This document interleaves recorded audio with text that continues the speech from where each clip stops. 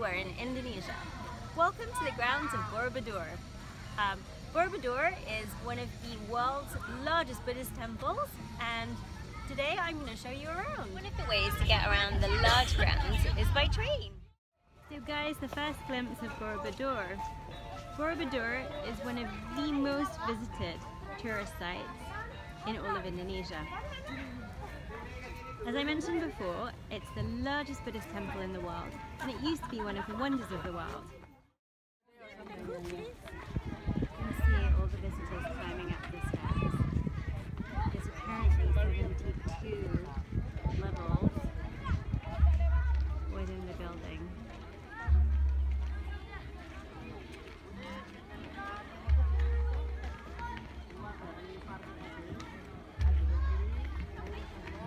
This represents the 72 levels of ascension of the soul. Okay, so I'm now almost at the top of Borobudur and if you can see just behind me, you have these bell-shaped stone structures which are called stupas. Stupas represent the seated meditating Buddha. You look at each of the stone structures, you've got a pointy bit at the top because when you meditate, you have to meditate to one being to block out everything surrounding you. That symbolizes the one God. The bell shape is all about protection, and within each bell-shaped structure is a Buddha in itself. The bottom of the structure um, actually represents the lotus flower. So I don't know if you can quite make out the lotus flower petals at the bottom, but that's a symbol of purity, very sacred and central to both Buddhism and Hinduism. At Borobudur, you have 72 stupas. Um, there's circular, they're around the, the, structure in a circular fashion, and behind me, or right, rather in front of me, so if the camera wants to turn this way, is the largest stupa of all, up here.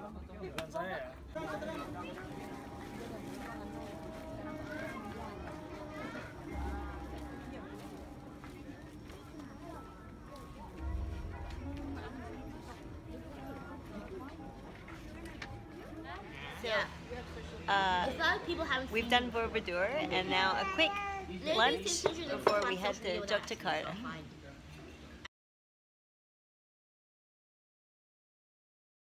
Stop is Mount Merapi, the mountain of fire.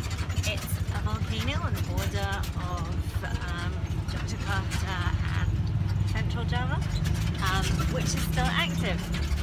And we're taking a jeep all the way to the top.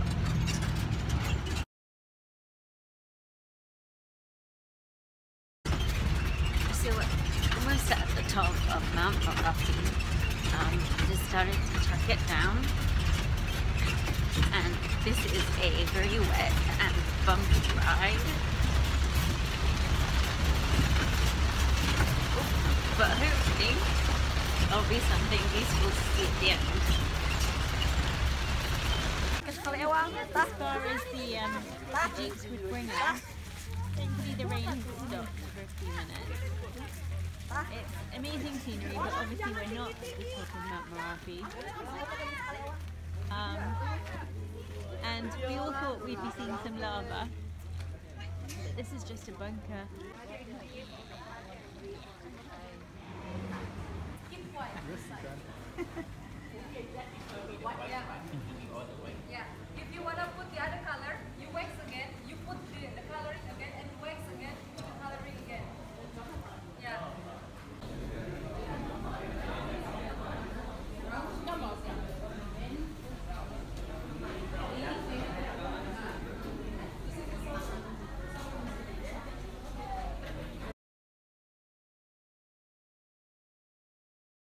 Welcome to the palace of the 10th king of the Yogyakarta Regency.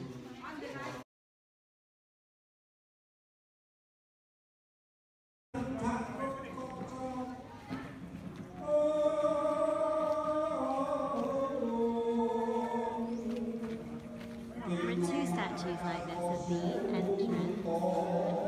They're supposed to represent good